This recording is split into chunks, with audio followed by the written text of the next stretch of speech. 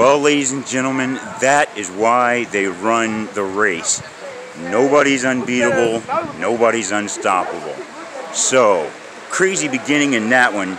NY Traffic came out extremely uh, crooked, uh, pretty much cuts off, runs into Honor AP, uh, drives Honor AP into Tiz the Law, not really into him, but he did impede his path kind of in the beginning out there.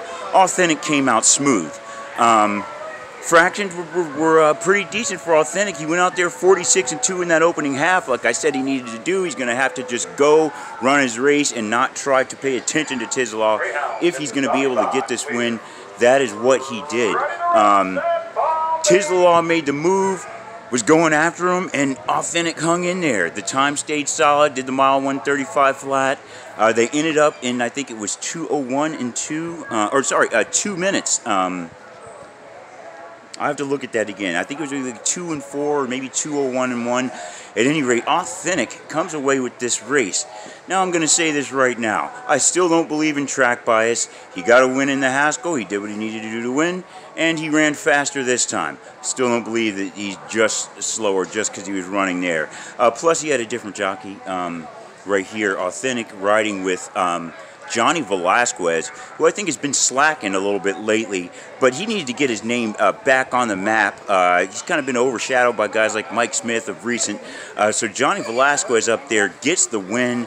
Bob Baffert with another Derby winner. I know everybody's going to be looking for that drug test after this one to see uh, if Authentic comes up clean, um, especially based on the info that's come out on uh, Justified just recently. They're trying to take a Santa Anita away.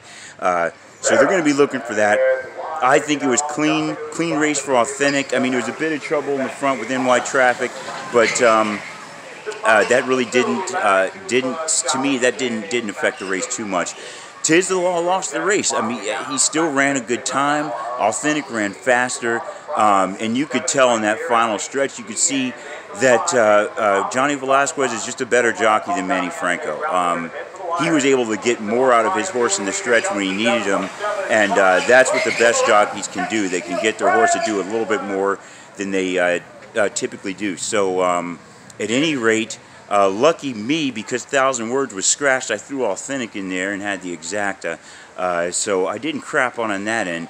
But uh, it was a bit disappointing to see the Law lose. I kind of, you know, had had hope for this horse uh, maybe able to get that record, but he, he, wasn't able to run fast enough, wasn't even able to get the win. So the Law was second.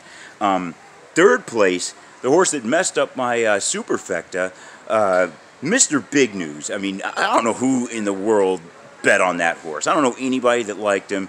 He closed hard, uh, ran in third there and so, like I said, he messed up the uh, super. I would have had Honor AP uh, ran fourth, and um, Max Player was in there for fifth. So there we have it, another Kentucky Derby in the books, thankfully with no shenanigans like there was last year.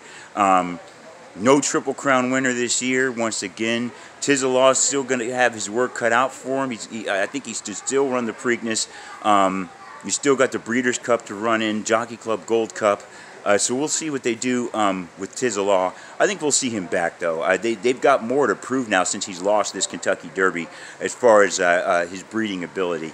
So he comes to uh, Louisville and uh, gets beat. Authentics the winner. Johnny Velazquez, another Derby win. Bob Baffert, another Derby win.